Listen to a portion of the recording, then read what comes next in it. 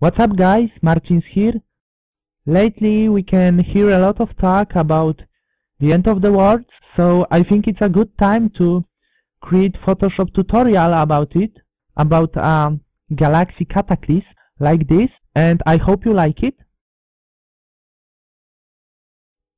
At first we need to create our background, so click File and New.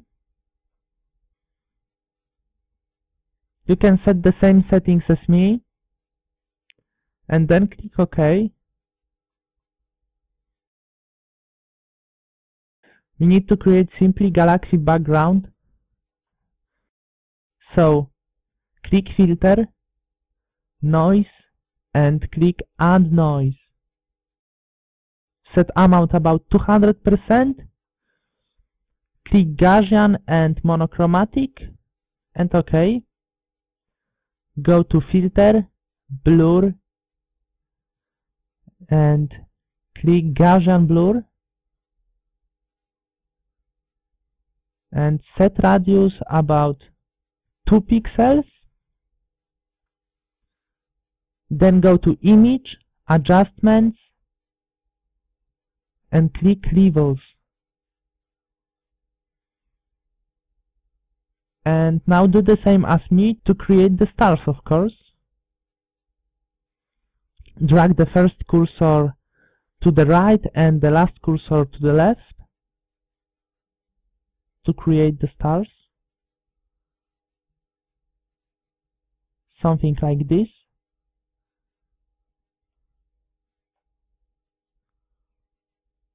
Now create new layer select color blue and black I think. Go to filter render and click clouds set screen or linear dodge then go to filter blur and click motion blur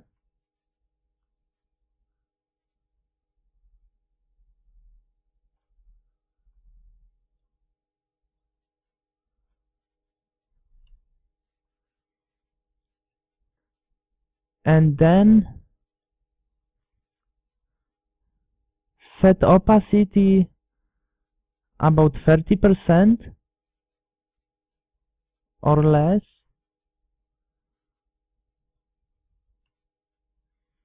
And now we need to add our planet.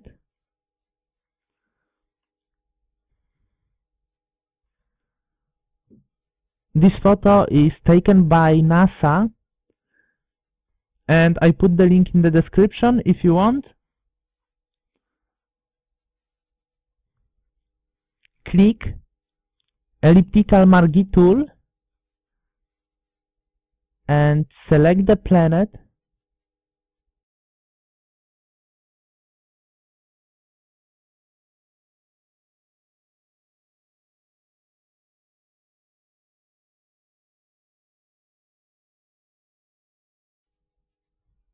set feather about 3 pixels.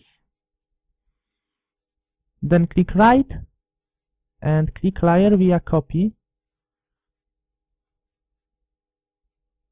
And ok now click move tool and drag this planet to your main project.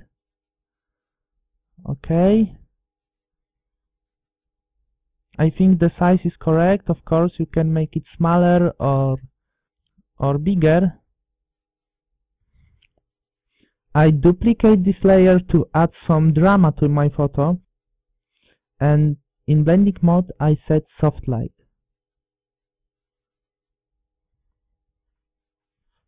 Create new layer, select your planet, press Ctrl and select your planet click gradient tool select color white and the second color black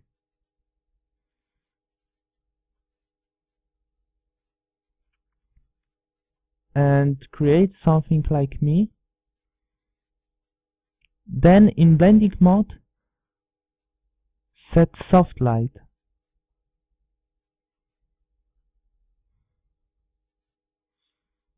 Click deselect, duplicate this layer, go to filter, blur and click Gaussian blur and make it little blurry.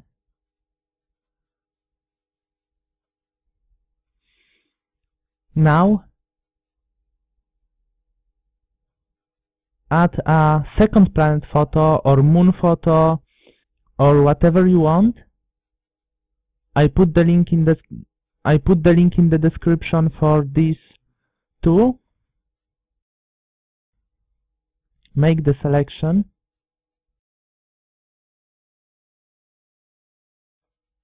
And drag this to your main project.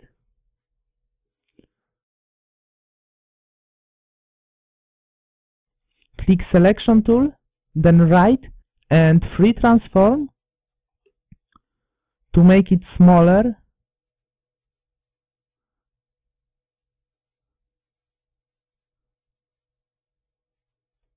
Okay.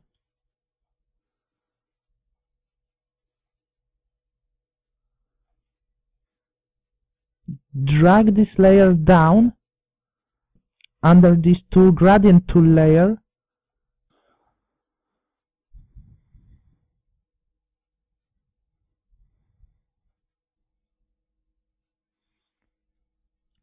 you can duplicate this layer and in blending mode for the new layer set screen to make your moon little lighter. Then create new layer. Select color white.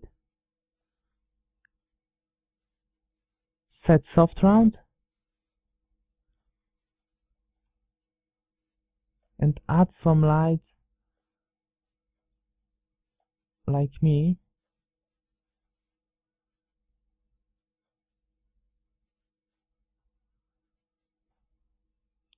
then go to filter blur and Gaussian blur and add some blur. Then click right on this layer go to outer glow change opacity to 40% and change your color to color orange.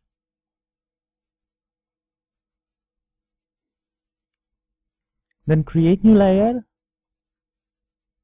Select color orange yellow or something like this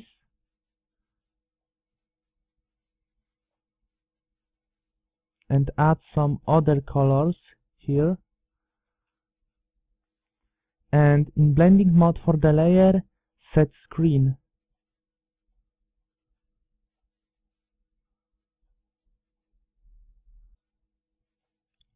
Now uh, click on the planet layer press ctrl and make the selection. Create new layer and fill it with color white.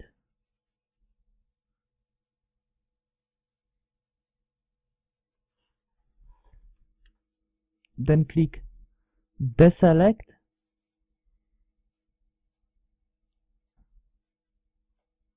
Drag it down under your planets layer. Then click move tool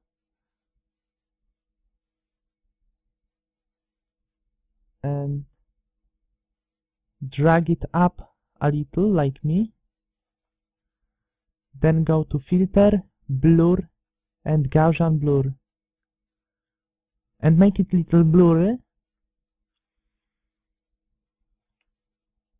Of course now you can create new layer and add some other colors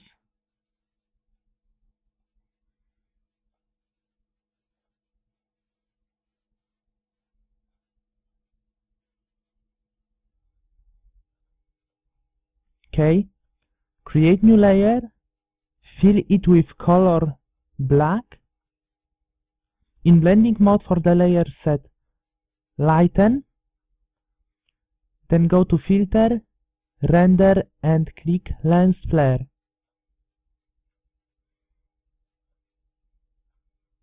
Select your lens type and brightness. Then click OK. And drag it down under your other layers.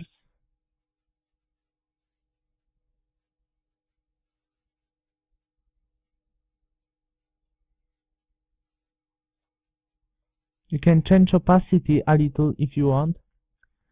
And okay, we almost done. So create new layer. Drag it down a little. Click brush tool and select your star shape. And as you see, I have a lot star brushes you can download it from website. I put the link in the description. To load these brushes to your Photoshop, click this small icon, then load brushes, and find these brushes on your computer, then click load. And OK.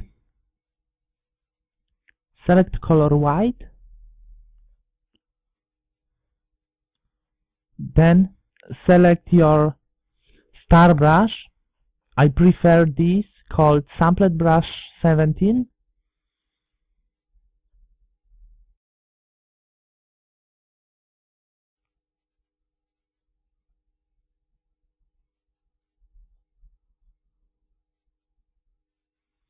and you can also add some other brush and you can also add some other star brush and then select this brush called sample brush number 3 create new layer almost at the top as you see. And add some effects on your photo